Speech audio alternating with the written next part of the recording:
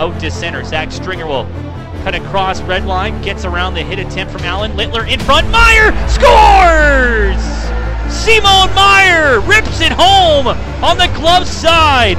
The Vees take the lead in game six. Meyer's first goal in his last seven games, and they're up 1 0.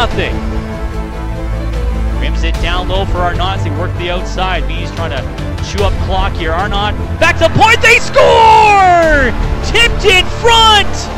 Over the stick side of the goaltender Eli Pulver.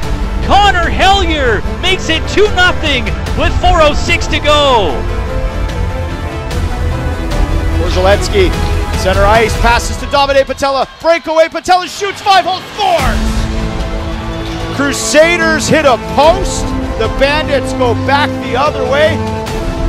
Davide Patella, breakaway, goal doubles the lead.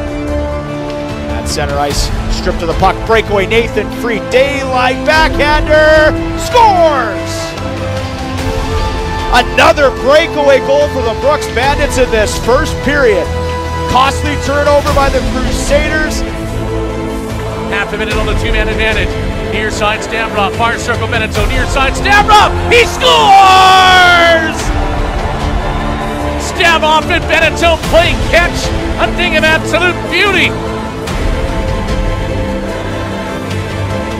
Ty Rasmussen to the point, Massimo Fazio, Fazio, a ridge shot, scores! Massimo Fazio, we are tied again! Bellissimo! Great in place. Stuff it attempt. Loose McIsaac. Scores! Get back in the box.